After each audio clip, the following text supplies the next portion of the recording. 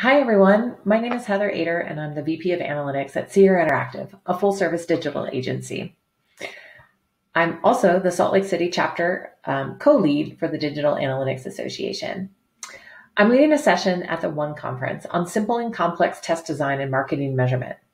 You walk away from my session with concrete test design examples for a variety of different channels like SEO, paid search and social, affiliate, and display. I look forward to sharing my knowledge with you in these areas. Please join me at the DAA1 conference this October.